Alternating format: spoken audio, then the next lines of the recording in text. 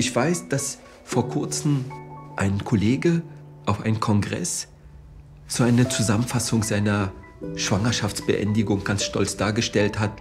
Viele Diagnosen gestellt, viele Paare betreut. Und dann ist auf einem medizinischen Kongress ein Kollege, den ich auch gut kenne, der ist da aufgestanden und hat ihn als Mörder beschimpft. Auf einem Kongress.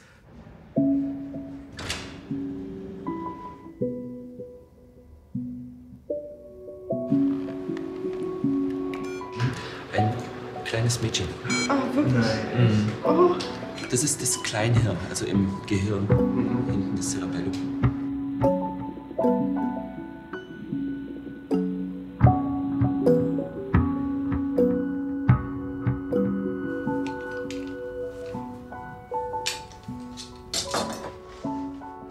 Es war bei mir, glaube ich, eine Wahrscheinlichkeit von 1 zu 9000 oder so. Also ziemlich, ziemlich eindeutig, dass da nichts ist.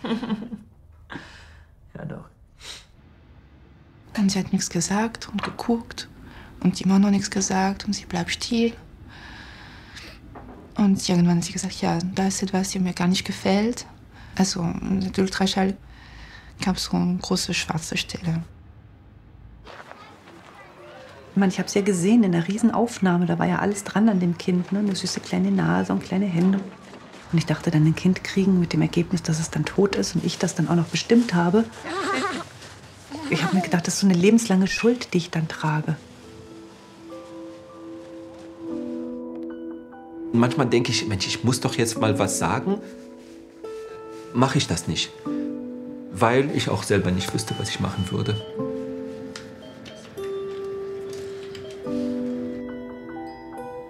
Ja, ich dachte, alles geht gut, ich bin schwanger und ich krieg ein Kind. Punkt. Und jetzt denke ich anders. Ich denke, okay, ich bin schwanger und es kann alles passieren.